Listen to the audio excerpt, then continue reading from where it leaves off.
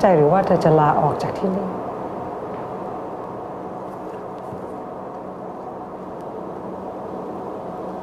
ฉันว่าเด็กเด็กเองเขาก็เสียใจ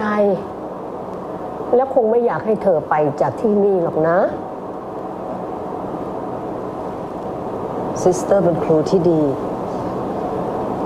ฉันอยากจะให้ซิสเตอร์ไต่ตรองอีกทีนะคะ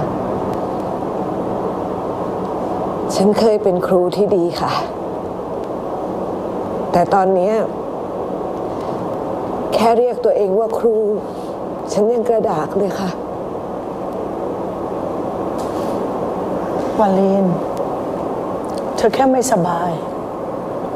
ถ้าเธอดูแลตัวเองดีๆ มันก็จะไม่เป็นอุปสรรค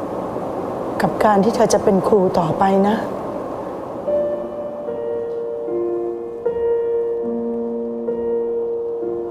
แล้วฉันจะเป็นครูต่อไปได้ยังไงล่ะคะ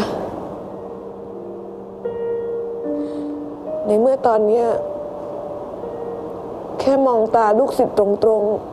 ๆ ฉันยังทำไม่ได้เลยค่ะ